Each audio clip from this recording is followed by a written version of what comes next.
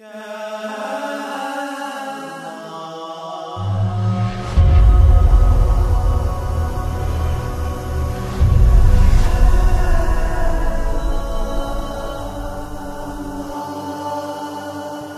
الله الرحمن الرحيم الحمد لله والصلاة والسلام على رسول الله وعلى آله وصحبه أجمعين Brothers and sisters in Islam Assalamu alaikum wa rahmatullahi wa barakatuh We meet again and we are talking on a series about the hereafter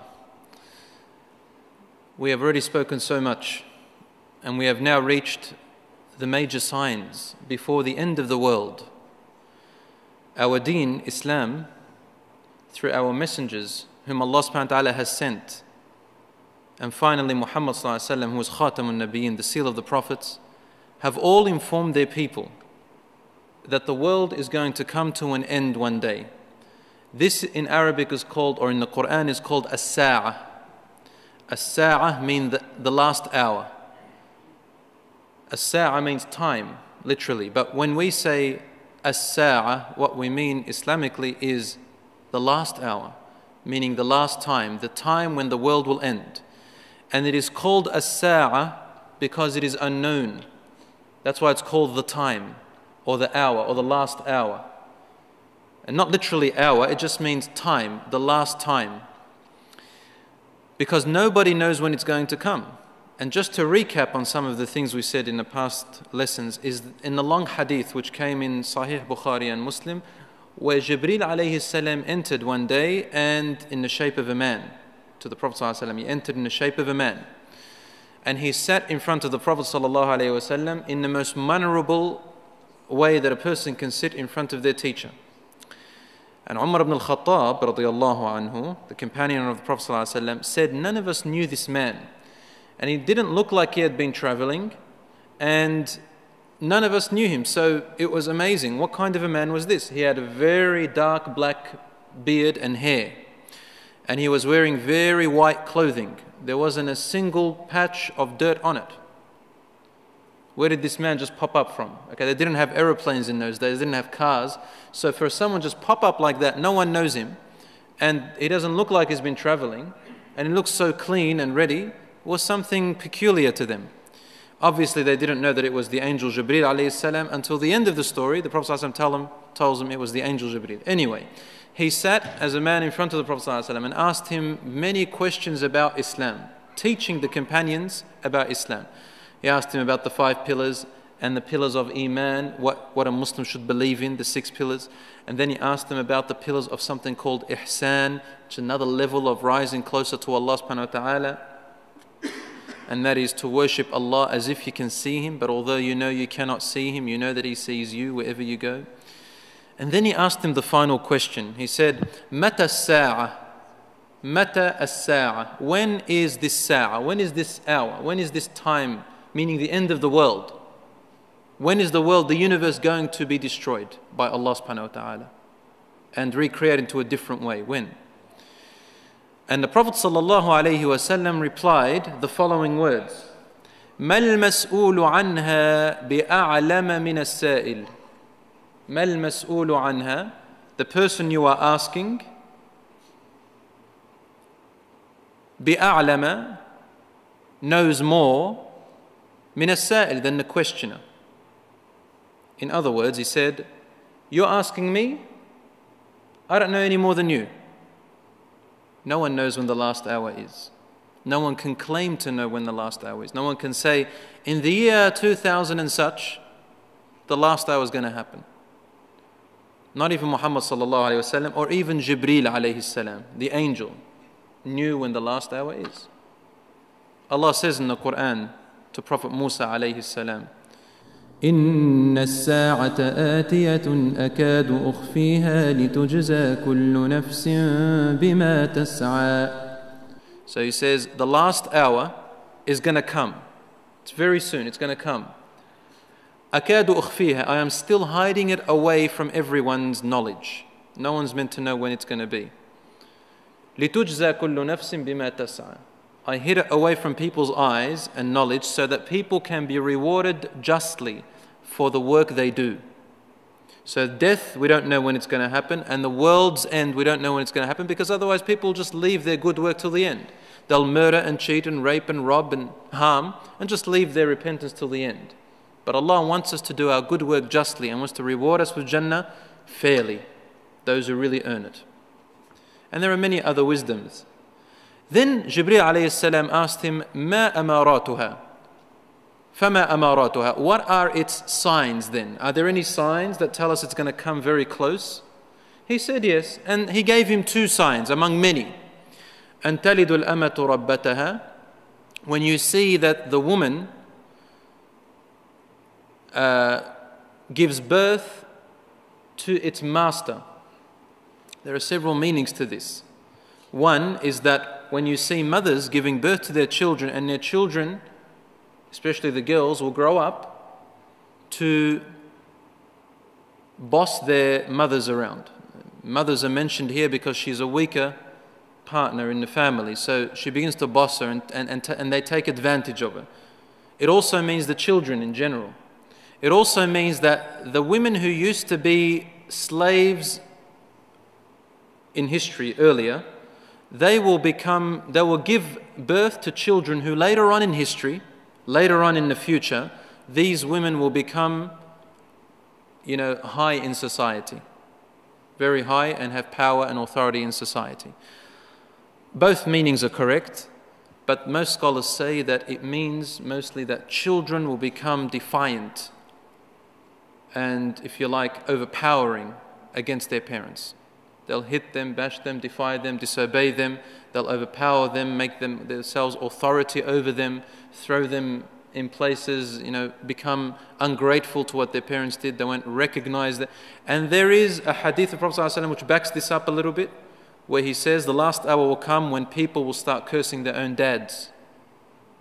This is a Sahih hadith. People will curse their own dads. And the companion said, Ya Rasulullah, how can a person curse his own father? He said, Well, they will curse, a person will curse another person's father, and so the other person will curse that person's father in, in return. And now that, that didn't usually used to happen in those days. Today you hear about it, even eh, men curse their own themselves and their own dads all the time, especially when, you know, my parents come from in Lebanon. They always say, Il'an abuk. May your dad be cursed. This is a common saying. The mother says it to us every time she gets upset with him, Il'an abuk. Curse your dad. The father says to his children, Il'an abuk. May your dad be cursed. Al-la'na, billah. You know what la'na means? That's why the companions they go, La'an, you curse them. The word la'an in Arabic, in Islamic terms here, means that may on the day of judgment, when Allah gives His mercy, may your dad not have any mercy. And he may enter hellfire and God gives him no mercy at all. He's out with, with, with the shaitans. That's who he's going to be with. La'na is a terrible word. And just a little, just want to mention something here. In Islam, if you curse, say la'an to an object, in the hadith it says if you even curse an object, something that doesn't have ruh in it, the la'na will return back to the person who said it. Or if you curse someone, la'an to someone who doesn't deserve the la'an, the curse comes back to the person who said it. If it doesn't find that that person uh, qualifies for this la'na. So you're going to be very careful with that word, among other words, including the word kufr to other, other Muslims saying you're a kafir and so on and so forth. Anyway, the other sign the Prophet ﷺ gave him was وَتَرَى الْعَالَ رُعَاءَ الشَّاةِ يَتَطَاوَلُونَ فِي الْبُنْيَانِ You will see that the shepherds, Bedouin, Bedouin nomad shepherds, in, in, in, the time of the Prophet ﷺ, there used to be these Bedouins who used, didn't really have homes you know, in a stable place. They had tents out in the, in the deserts. And they used to be barefooted. وَتَرَى الْعَالَ رُعَاءَ الشَّاتِ The poor, uh, destitute Bedouin nomads who are barefooted, sheep herders, رعاء الشاتي, sheep herders, يتطاولون في البنيان. They will become rich, that they will, it doesn't say rich here, but that's the meaning, that they will build towers very high in the sky. The Bedouins today, our scholars tell us, refer to places like the Emirates and surrounding places. If you look at Dubai, these people in you know, a few hundred years back were exactly that, were destitute, nomad Arabs, even at the time of the Prophet. So their, their offsprings were all, have always been like that. And only in the past few years, they are building the highest, tallest towers in the world. In Dubai, you heard of it? Tallest towers in the world on islands. This is the hadith of our Prophet ﷺ, which Allah told him about. We've already spoken about the major, some of the major signs. I've spoken about the Mahdi. We've spoken about the Dajjal, Antichrist. We've spoken about the dissension of Isa alayhi salam, Ibn Maryam alayhi salam. And we've also spoken briefly about the rising of the sun from where it sets.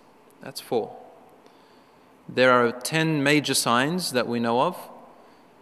And during those 10 major signs, the minor signs are still happening. More minor signs are coming up. So don't think that when the minor signs all end, the major signs come. No.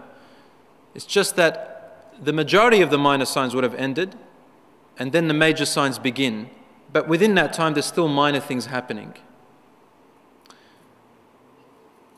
I forgot to mention just something about the Dajjal last week. A Dajjal, who is the liar, the deceiver, who comes out, is a real human being. I forgot to mention the ways that Prophet ﷺ advised us to protect ourselves from him. A Dajjal will not be there particularly destroying your homes physically or harming you physically. Although his army would do that, but that's not his that's not how he gains victory. The way he's victorious in those 40 days that he stays on earth, according to the hadiths of the Prophet ﷺ, many hadiths, is through uh, fitan. Fitan are like trials. Fitan that play with your mind, play with your psychology. They play with your psychic. You know, they make you see things that are not there. And they really play with you and with poverty. Because what he has the power to stop the rain and stop the earth from growing for you and so on. So you fall into poverty and it becomes a very difficult life for you. It's called a fitna. Either you follow him and live, you know, look after your family and live properly, or you give up and give up your deen, or you hold on to your deen and you struggle through those 40 days. For Rasul and all the prophets who warned about the Dajjal, they told us how to protect ourselves from him. So number one, the Prophet advised us to hold very strongly on our deen Islam. You know what it means to hold on strongly on your deen Islam? Yeah, and you make Islam the most important thing for you in your life. It's more important, you put it in priority to everything else in your life. Everything revolves around it. You take pride in it. In your looks, in your words, where you are, in your environment, the types of friends you choose, the food you eat, the, the clothes you wear. You hold on to it tightly. You hold on to your sunnahs tightly, the voluntary things they don't even have to do. You hold on to them. Because these things will make you strong, insha'Allah, when the Dajjal comes out, if it is in our time. To know very well the names and attributes of Allah subhanahu wa ta'ala. It's very important, brothers and sisters, that we know Asma'ullah al-Husna very, very well. There are 99 names to Allah subhanahu wa ta'ala which He has taught us through the Quran all of them in the Quran and through His Messenger sallallahu alaihi wasallam. We must know them well, what their meanings are, what they represent, and apply them according to His names and attributes. If you don't know His names and attributes properly, you don't understand them, learn them. But if you don't understand them by the time Dajjal comes, or even in our time now, the prerequisites of the Dajjal, it's very easy for you to lose your aqidah, very easy for you to lose uh, your belief in the oneness of Allah subhanahu wa ta'ala. You'll start doing many shirk things. And just to give you a very brief example, very quickly, very quickly, we already have in our time among the Muslim nations Muslims who are practicing the you know opposing the names and attributes of Allah and they don't even know it. I'll give you an example. You know the blue eye? That people wear or they hang up in their houses. Have you ever heard of it? It's a blue eye. We call it Ain al in, in Lebanese, or Kharz al It's a blue eye or a blue um, you know, bead. And sometimes they put it inside of a golden eye or a brass eye and they tell you to wear it or you hang it up in your house. You ever seen it? If you don't know what that is, a shoe. What about shoe? Some people hang up a shoe in their house, or the horseshoe with an eye in it, or knocking on wood when, uh, when, when, when uh, something beautiful is in front of them, or you praise someone and they knock on wood so you don't envy them or something. All right? So these are practices which oppose the names and attributes of Allah subhanahu wa ta'ala. You're believing that by knocking on wood, it prevents harm. So you, you put your trust in something which, which, in a power which Allah has only in a piece of wood. You're making wood have godly powers. Or um, this eye, which people make with their hands. You wear it believing that it prevents harm. That's the same as idolatry. In a time of the Prophet ﷺ, they used to carry their idols around with them to prevent harm from them. There's also pessimism, uh, tiyara. You know, if something happens, it means this. You know, um, what do you call it? Seances, have you ever heard of them? Or palm reading, or star signs, astrology.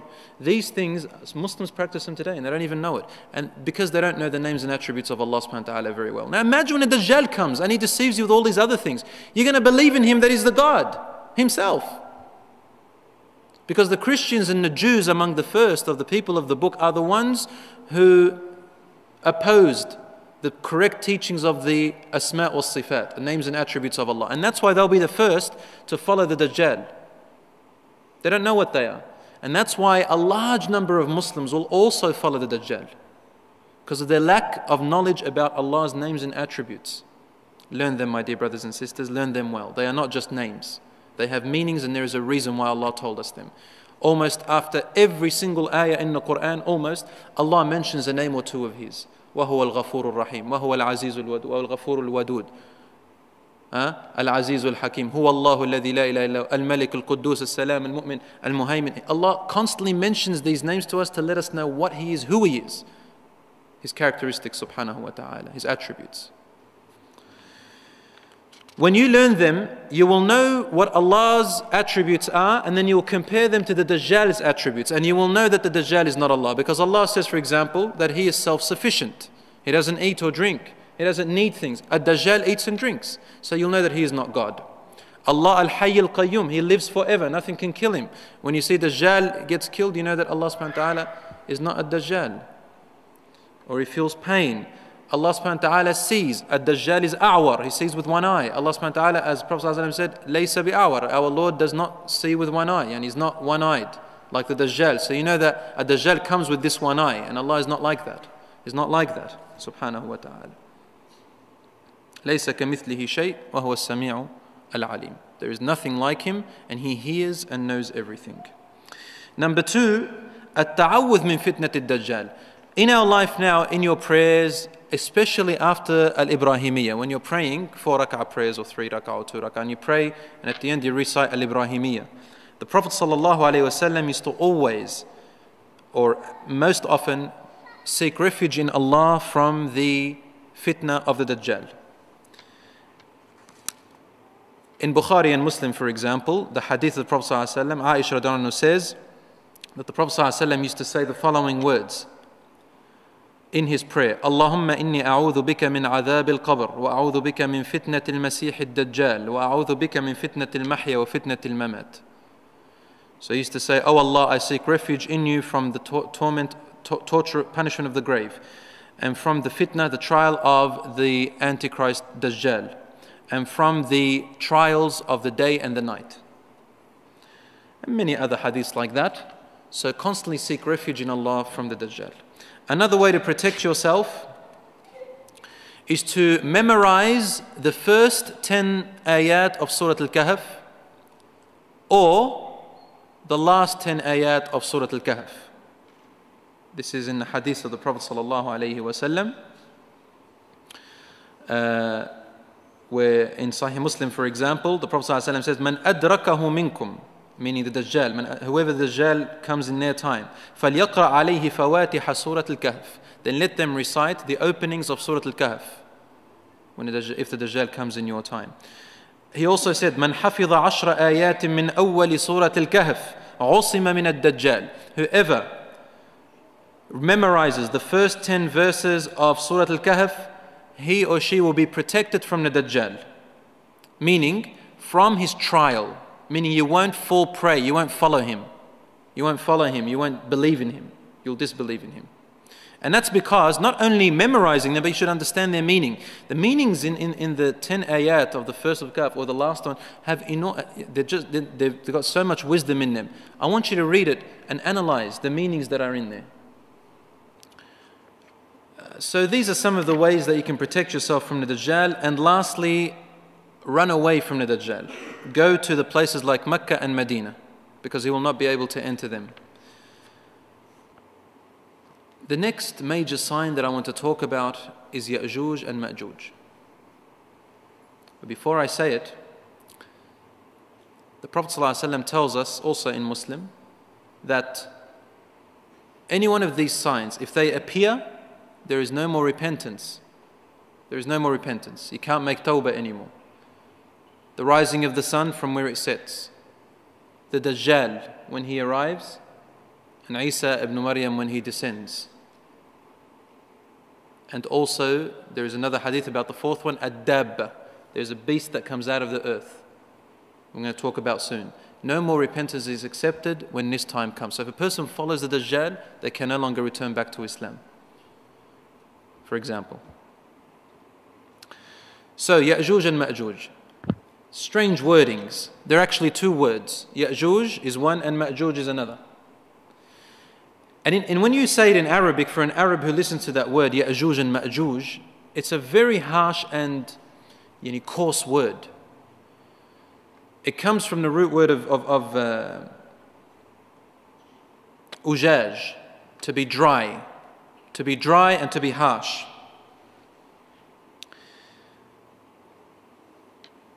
And it also comes from the meaning al-aj, meaning when the enemy comes really fast, close to you really fast, comes, attacks you really quickly. So these Ya'juj and Ma'juj, they are dry and harsh in nature. And when they come out, they're going to come out so quickly and so fast that you will not be able to stand in front of them. You have to run away from them. That's what the scholars tell us about these meanings. And Ya'juj is a tribe, and Ya'juj is another tribe, but they are related. And they are actual human beings. Ya'juj and Ma'juj are human beings. They are tribes that actually exist on earth.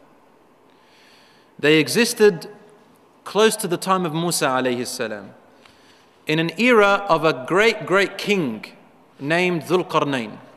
Anyone heard of Dhul Qarnayn? Dhul the man of the two horns. He was called that name because he used to wear a, a hat that had two horns coming out of it. That's one meaning. Another meaning, they think why he was called Dhul the man of the two horns, means the man of the two, the man of the two eras or generations, or the, or the king of the generations. Because Qarn means horn and also means in Arabic generations or eras. The point is that Dhul Qarnayn was an extremely powerful king and he was a worshipper of Allah, a righteous, just Muslim king, among the best that ever existed on earth. And he had so much power, so much authority, that his kingdom reached almost the whole world. Yani, why do I say almost? Because there were parts of the world where civilization hadn't reached yet, as today. But whatever existed in that time, wherever civilization reached, Dhul Qarnayn had power to there, right to the end part of civilization. And Allah subhanahu wa ta'ala talks about Dhul Qarnayn in Surah Al Kahf. You'll find Surah Al Kahf mentioning so much, that's why it's so important in relation to Ad Dajjal.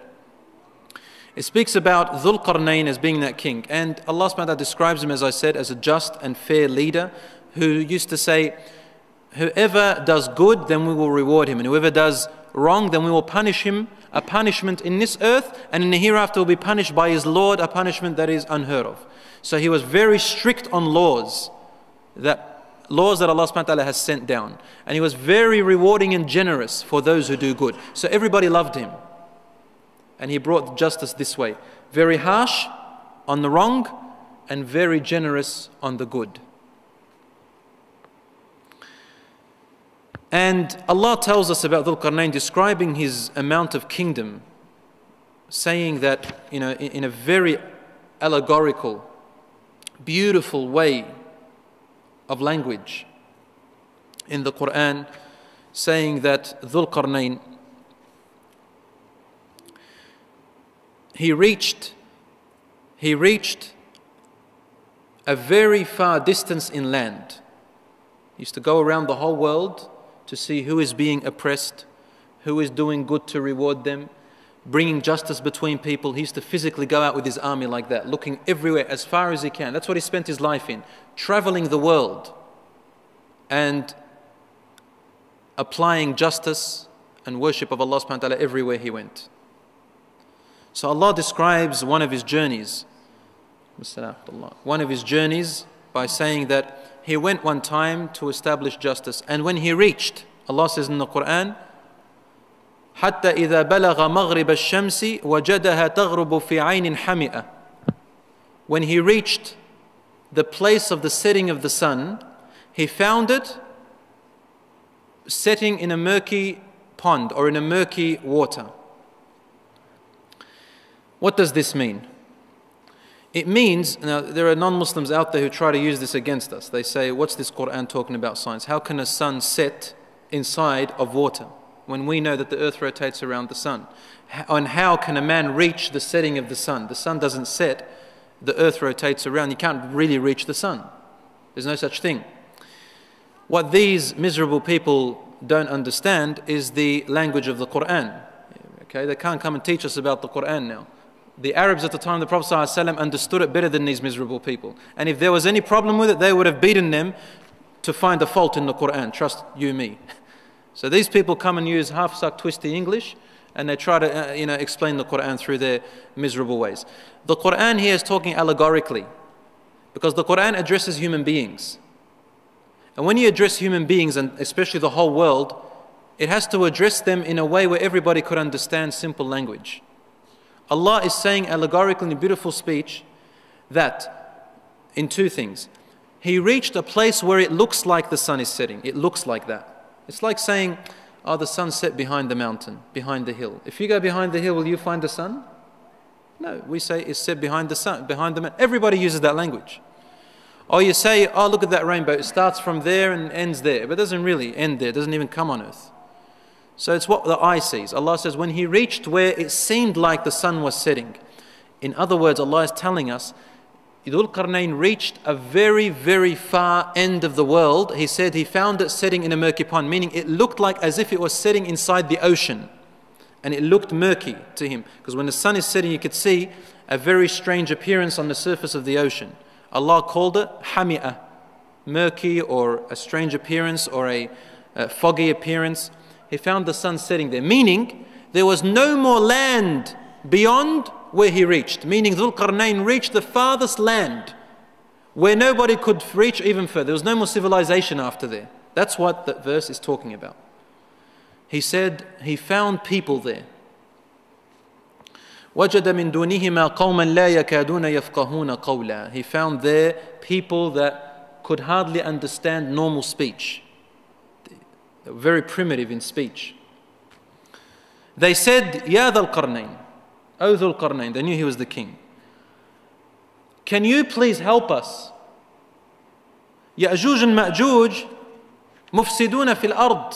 They are corruptors on earth. Now I want you to analyze with me over here. These people who are complaining to Dhul Qarnayn, they were very primitive in lifestyle and in language. So he reached the border of the world where civilization was so behind. And they were trying to explain to him about this other civilization that are even worse than them, that are even more primitive, worse and corruptive than these people that he just met. This is what Allah says in the Quran. ثم أتبع سببا Allah says, then Dhul Qarnayn took a pathway. حتى إذا بلغ بين السدين وجد من دونهما قوما when he reached between two dams. There was some kind of dams that blocked between two, blocked a city or a village or a town. لا يكادون يفقهون قولا These people could hardly understand normal speech, very primitive.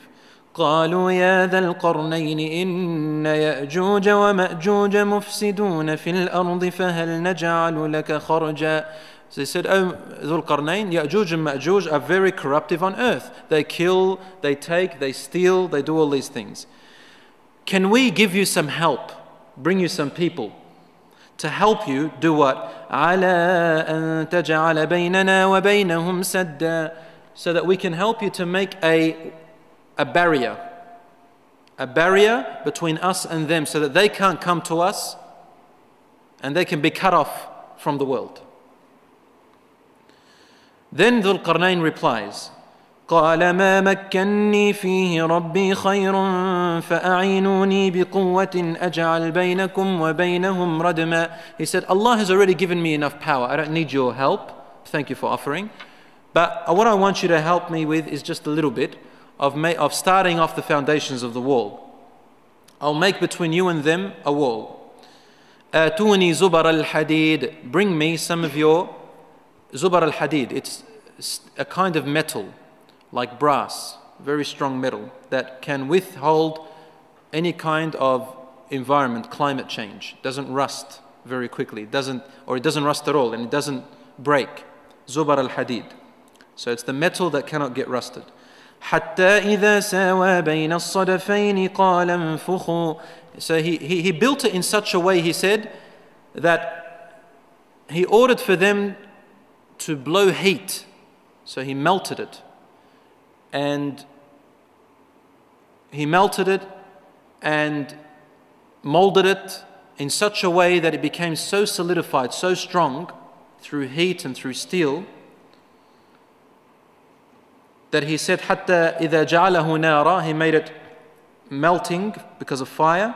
He said, آتوني أفرغ عليه قطرا, bring me this other type of material that I may add to it, قطرا, that will make it extra strong. So the whole idea here, Allah is telling us that He built a wall or a barrier or a dam, something that was so strong, so impermeable that nothing can reach and nothing can come, nothing can break it down anymore. No climate, no people, no weaponry, nothing.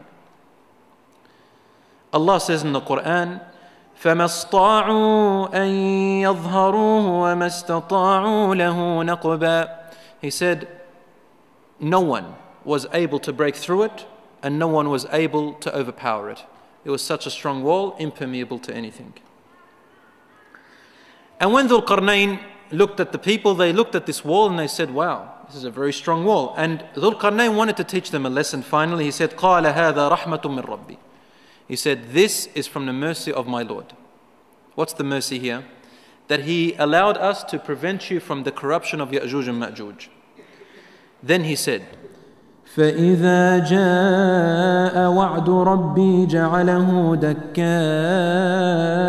وكان وعد ربي حقا He said, Now, this, is, this wall has been built there, it's strong. This is a mercy from your Lord for now. But when the promise of my Lord has arrived, Allah has decreed something that's going to happen. Allah will make this wall destroyed. He will destroy it. Dakka, meaning it will be level with the ground. وَكَانَ وَعْدُ رَبِّي حَقًّا The promise of my Lord is truly going to come, no doubt. What is he saying here? He's saying that Ya'juj and Ma'juj will be blocked off the world, from the world, until a certain time that is going to come. Allah, it is only Allah who will destroy, who will allow for this wall to be destroyed, and when it is destroyed, this Ya'juj and Ma'juj will come out. Allah says, وَتَرَكْنَا بَعْضَهُمْ يَوْمَئِذٍ يَمُوجُ فِي بَعْضٍ وَنُفِخَ فِي الصُّونِ فَجَمَعْنَاهُمْ جَمْعًا He said, and so we left them. يَأْجُوجُ مَأْجُوجُ We left them. And we left the people like this, in this way. يَأْجُوجُ مَأْجُوجُ away from the people. And they living among one another. Allah says, But we will surely bring everyone, including Ya'juj and Ma'juj, everyone back when the trumpet is blown.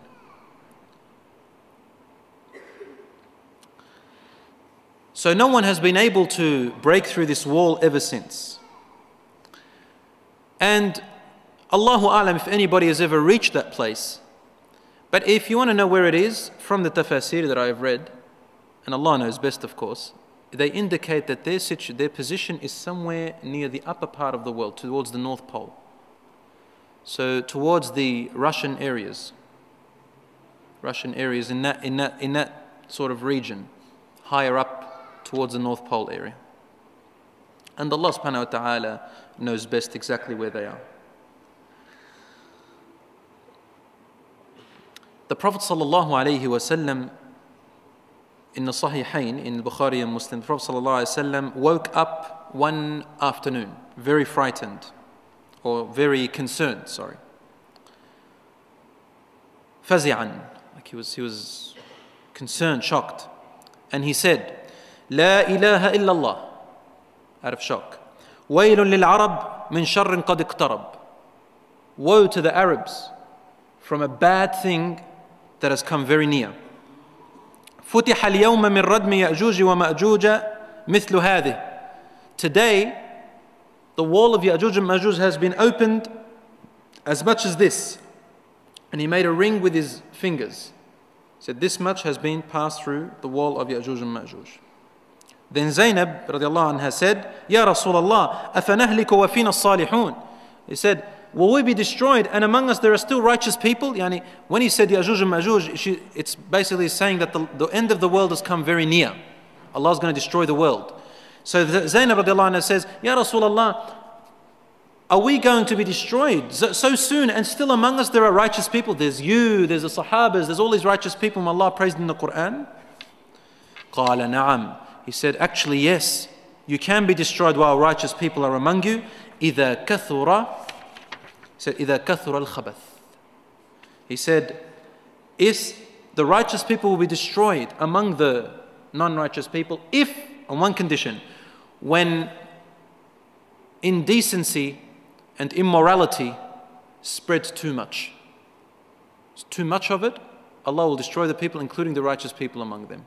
There are two definitions to this or interpretations. Number one, either because the righteous people are not doing their job, or the corruption has exceeded so much that the righteous people cannot do anymore, so it's time to take them away. The test of the world is, is, is pointless. Take them, start judging them, put whoever's in heaven and whoever goes to hell, hellfire. It's pointless now to live on. So beware, my dear brothers and sisters, and continue in your da'wah. Now, what does this mean? Does that mean that Yajuj and Majuj has, have, have already pecked through the wall since that time? Allahu Alam. What it means though is that it is close. How are they breaking through? Allahu Alam. How much of it is actually now open? Allahu Alam. But the point is, when it's finally opened and Yajuj and Majuj are able to come out, it'll be the time when Allah has decreed and they will come out. And this is the way it will happen when the day comes. First of all, the Ya'juj and Ma'juj are unable to get out of there. Number one, there are many reasons why. Number one, as we said before, they are a very primitive people. Their understanding of technology is not like ours. They don't know what's going on in the world right now. They don't, they don't have computers, they don't have airplanes, they don't have these weaponry we have. They have nothing. Remember the people who say, who said to, to Dhul Qarnayn, please protect us from them, and they were primitive themselves. Well, Ya'juj and Ma'juj are even more primitive than them. So they don't have the idea of technology of how to, you know, break through this wall. Nor, and they are between mountains. These mountains are covered with su such bad climate that if they try to go up these mountains, they'll die. So they can't go around or on top of this wall. Some people said this wall is the Great Wall of China. No, it's not the Great Wall of China. For the Great Wall of China is broken. You can easily pass through it, and on top of it, it's a tourist um, you know, site. Ya'juj and Ma'juj are not behind the Wall of China nor are they the Chinese people. A lot of people they say, oh, they're the Chinese people. And some people they describe them as being short, you know, they're, they're, like, they're like really, they're like midgets walking around, or, and they've got these strange eyes and about uh, this is all rubbish, you know, there's nothing in the hadith that states that they are like that, like aliens or something. They are real human beings from the upper part of the world they have a certain look, maybe, maybe more of an Asian look because it's that region, or more, you know, more of, more of that type of a look. Allahu alam. But the point is, they are people, they are humans like you and us, but they are just very, very corruptive. They are more corruptive than the corruptive people of today. Immoral, uh, no principles, nothing. And when they come out, they just destroy. They destroy, rob, rape, kill, murder, all of these things and they just worry about they just they, they want to be the leaders of the world they want to be the power but in a very you know They're like gangsters, but the worst of gangsters, like thugs, the worst of thugs ever, ever seen, ever known. The Prophet ﷺ tells us إذا أوحى الله إلى عيسى أني قد أخرجت عبادا لي لا يدان لأحد بقتالهم فحرز عبادي إلى الطور these Ya'juj and Ma'juj will come out in a time where Isa alayhi salam has already descended. Isa alayhi salam will be among us. And Allah subhanahu wa ta'ala will send Jibreel alayhi salam to Isa to tell him alayhi salam that a certain type of servants of mine, meaning creations of mine, have now been released. Allah is talking about Ya'juj and Ma'juj. So take my servants, meaning take the Muslims, O Isa alayhi salam, take them to the mountains at-Tur. Means here mountain. And hide. You will not be able to beat them. They are too many. They are so many, my dear brothers and sisters, that the Prophet ﷺ once, I want you to listen to this, he sat down with his companions and said, For every one person that enters paradise, 999 will enter hellfire. Ah, that's, that's frightening. It means like, do we have any chance for every one person, 999 enters hellfire? So the Sahabas were concerned and they asked him, Ya Rasulullah, idhan, therefore none of us will enter paradise, maybe. Who's going to enter it? He said, Don't worry. From your nation, meaning from, from my nation, just from the Muslims that ever exist, from the time of Muhammad till the end of time, just from the Muslim nation, not from the world, from the Muslim nation, from every one of you, there is 999 of Ya'juj and Ma'juj. Yani, they are 999 folds more than the nation of Muhammad that exists. So if we are you know, now, let's say, a billion or just over a billion, how many would that make Ya'juj and Ma'juj currently in population? Okay, you need good mathematicians to calculate that. Maybe good accountants here. If you can figure it out, then you've got yourself business here.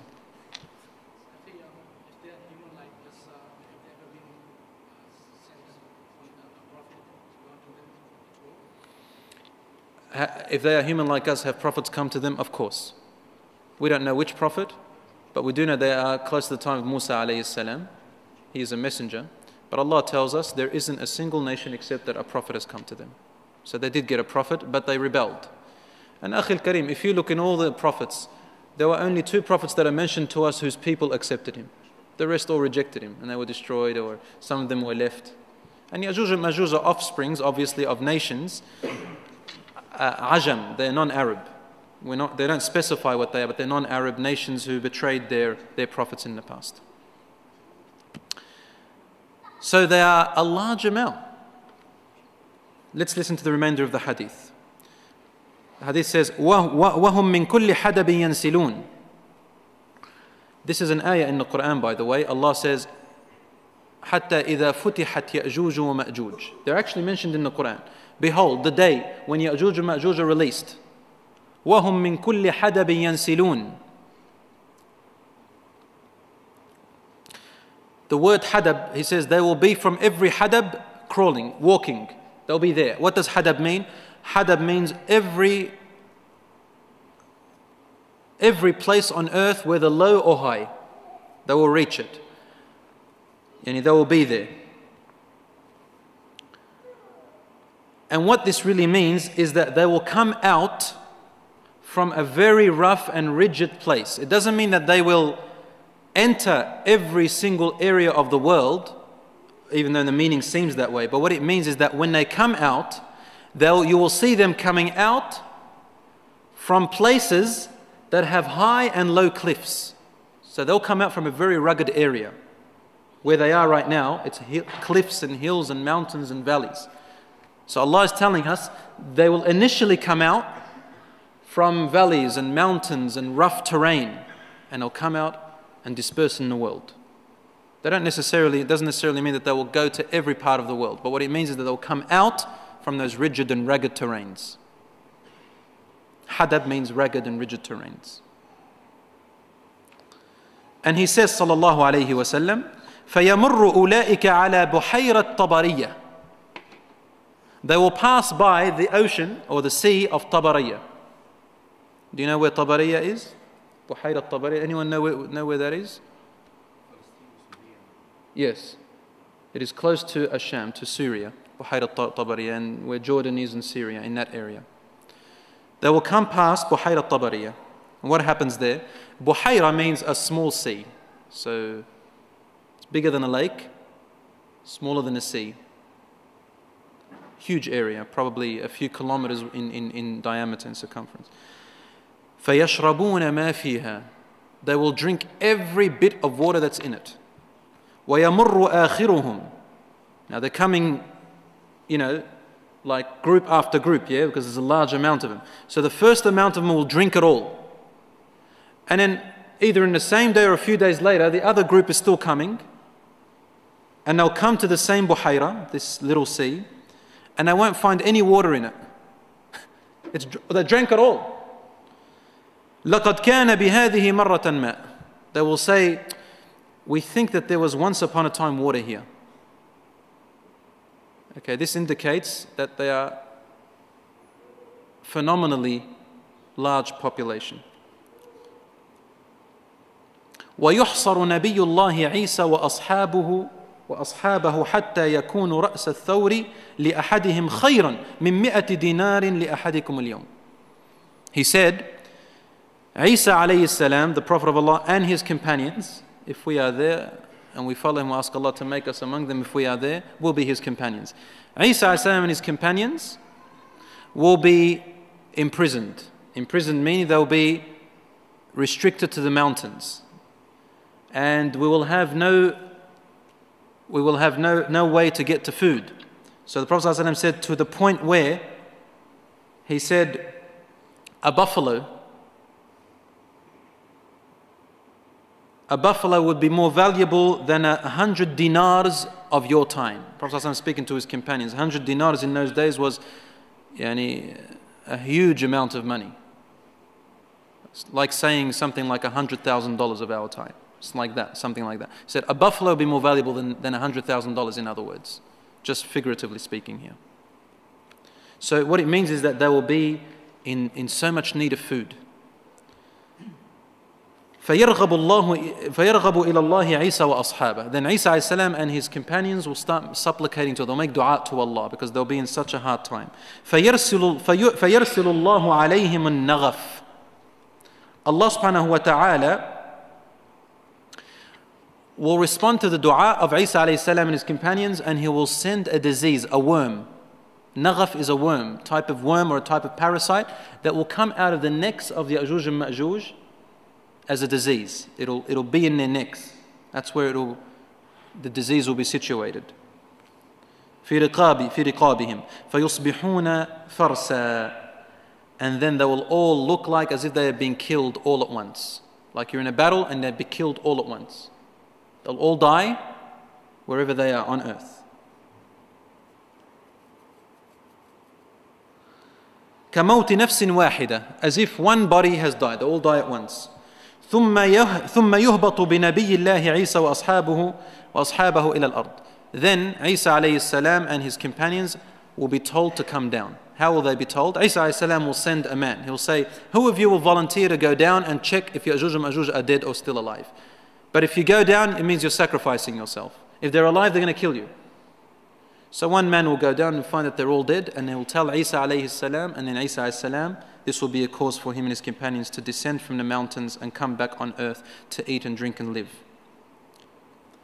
He says, فَلَا يَجِدُونَ فِي الْأَرْضِ مَوْضِعَ شِبْرٍ إِلَّا مَلَأَهُ زَهْمُهُمْ وَنَتَنُهُمْ yeah, They won't find a palm's length, a palm span of, of place on earth except that you will find either their, their carcasses, their dead bodies there, and their stench. They'll smell very badly. Then Isa salam and his companions will ask Allah again to remove these people from there. So then Allah sends طَيْرًا كَأَعْنَاقِ الْبُخْتِ He will send birds that have necks like the necks of vultures. فَتَحْمِلُهُمْ It will carry their bodies. And this indicates to us that either their bodies are small in build or that they would have decayed. you know, decompose to the point where they become light. فَتَطْرَحُهُمْ حَيْثُ شَاءَ اللَّهُ and they throw their bodies places where Allah subhanahu wa ta'ala wills for them. Then Allah subhanahu wa ta'ala sends rain and it fertilizes the land and their stench is gone. So Yajuj and Ma'juj, there's another hadith that says when they come out, they will fight the people of the, anyone in front, they'll kill them. So there will be non-Muslims that they'll be hiding. They won't kill everyone.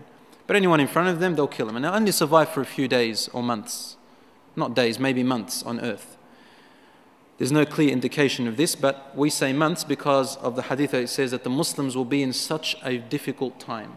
Food will run out, money will run out, so they'll be here for a little while. And after they kill, they think they killed all the people of earth, they turn their arrows to the sky and they return with blood on them. And they say, We have now killed the people of the sky. Malakna al ard. We are now we are now the kings of earth. But then Allah perishes them. This is Ya'juj and Ma'juj. What's the wisdom behind it? Allah subhanahu wa ta'ala knows best, but they are one of the major signs that the end of the world has come very, very near. Very near at the time of Ya'juj and Ma'juj.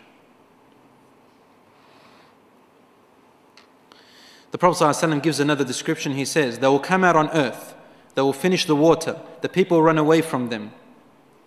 They will throw their arrows into the sky. It will come back with blood on them, and they will say, We have killed the people of earth and the sky, and now we are the kings of earth.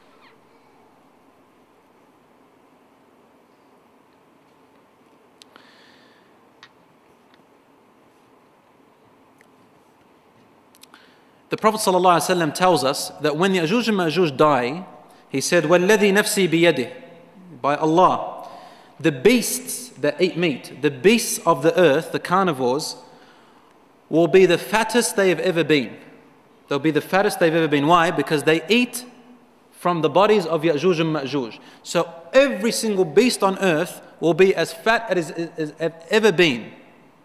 That's the amount of people they are of Ya'juj and Ma'juj.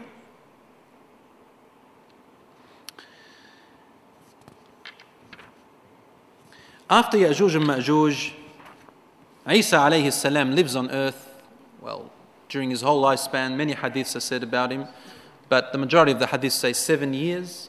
Some hadiths say 40 years. We don't know which ones are the most authentic, but according to our majority of our scholars, seven years is what they rest on. The number of years is not entirely important to us, but what's important to us is to know that Allah will send out these major signs. They are not explained in too much detail than what you have already heard. After that, there will be khusufat. Now, this is another major sign. There will be swallowings of earths, swallowings. There will be major continent, well, maybe not continents, but large lands that will actually disappear under the earth. They'll, they'll, be, they'll be gone, either into the water or they'll be destroyed head over heels. There'll only be dirt left. And the Prophet ﷺ tells us in the hadiths, سيكون بعدي خسف بالمشرق after me, after Prophet ﷺ's death, there will be a swallowing of earth in somewhere in the eastern region, eastern to Medina. وَخَسْفٌ بِالْمَغْرِبِ And in the west of Medina, somewhere there. وَخَسْفٌ فِي جَزِيرَةِ الْعَرَبِ And there will be also a swallowing of the earth in the lands of the Arab, the Arab Peninsula. So Allahu A'lam, what will happen in that time. And there will be righteous people who also go in these landslides, if you like. There will be righteous people but that's because, listen to what the Prophet ﷺ said. He said, إِذَا, إذا أكثر أهلها الخبث. One companion said, Ya Rasulullah, the earth will swallow the people even if among them there are righteous people. He said, Yes, إِذَا أكثر أهلها الخبث. If its people start to do too much immorality and indecency and all of those things. And we, we, we have that today. You can see it a lot in the eastern regions, you can see it a lot in the west. You know, homosexuality and prostitution, all those other khabath. People no longer believe in God and so on and so forth. Then there will be smoke. Smoke will come and it will fill the whole sky. How much time do we have? Five minutes. Barakallah fiqh. This is another major sign. Allah said in the Quran, فارتقب فارتقب يوم تأتي السماء بدخان مبين يغشى الناس هذا عذاب أليم which means wait until the day comes when the sky will be filled of clear smoke. Everybody in the world will see it. Mubin, everywhere. يغشى الناس or يغشى الناس هذا عذاب أليم يغشى الناس meaning the smoke will cover all the people يغشاهم أجمعين it will cover all the people of the earth and people will say or Allah says هذا عذاب أليم this will be a day of torment Allahu A'lam, what kind of a torment or a day that would be, would be has it happened? Allahu A'lam. Will it still happen? Allah only knows, but the majority of the scholars say it is yet to happen. And this is also one of the signs of the closeness of the last hour. Also, among the major signs before the end of the world would be, as we said last week, the rising of the sun from where it sets. The world, the universe, is moving in a very peculiar way now. And some scientists, as I said last time, say that it will reach a plateau phase, it will just stop. And they say either a, a universe is going to be recreated or there will be something called the Big Crunch. There's a Big Bang now, and they say that probably a Big Crunch, where the universe will crunch itself. So the planets will collide, and the stars will collide upon each, upon each other, and the, star and the, the, the stars will collide with each other, meteors will hit the earth. And when this happens, everything's reversed. So the magnetism of Earth, as you know it today, will be reversed. So things will be flying up in the air. The oceans and the waves will be the imbalances in earth, the clouds, the rain, the, the, the, mountains will be destroyed. So everything will be reversed on earth. And so the last hour will be occurring. And the first sign you see is when the sun reverses itself. So the earth is rotating this way, and then it will be rotating the other way. And the sun will look like it's setting from the other side a reverse situation of the universe's crunch. That day, no more repentance will be accepted by anybody, as we said. And finally, there will be something called a dab, the beast. It will come out of the earth. Allah knows what it looks like.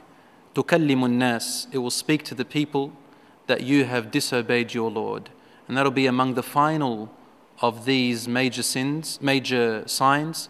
The only thing after that left is an nafkhu the blowing into the trumpet.